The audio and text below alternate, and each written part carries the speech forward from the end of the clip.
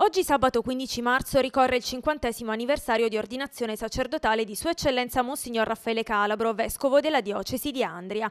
Nato a Minervino di Lecce il 10 luglio 1940, ha frequentato gli studi al sacerdozio nel seminario regionale di Molfetta e nel seminario romano maggiore, conseguendo la laurea in teologia e utroque iures presso la Pontificia Università Lateranense.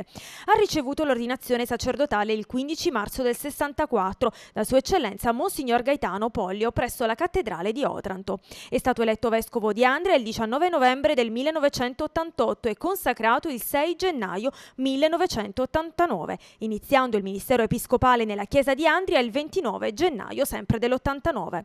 Proprio in occasione del suo cinquantesimo anniversario di ordinazione sacerdotale e per ringraziarlo per quanto fatto in questi anni ad Andria e per la sua opera pastorale, domenica 16 marzo alle ore 19.30 presso la chiesa di San Domenico si svolgerà un un concerto dell'Orchestra da Camera Federiciana diretta dal maestro Michele Lorusso. E la scelta della chiesa di San Domenico non è affatto casuale, infatti l'antica chiesa, dopo anni di abbandono, è finalmente stata restaurata grazie proprio alla tenacia, alla sensibilità e alla volontà di Monsignor Calabro, al finanziamento erogato dalla Presidenza del Consiglio dei Ministri e ai contributi economici della diocesi. L'intero complesso monastico dei padri domenicani ha rivestito nel corso dei secoli un fondamentale ruolo religioso e culturale e non solo a livello locale. Al suo interno infatti era custodito il busto del duca Francesco del Balso, attribuito a Laurana, una delle opere di scultura più pregevoli della nostra regione.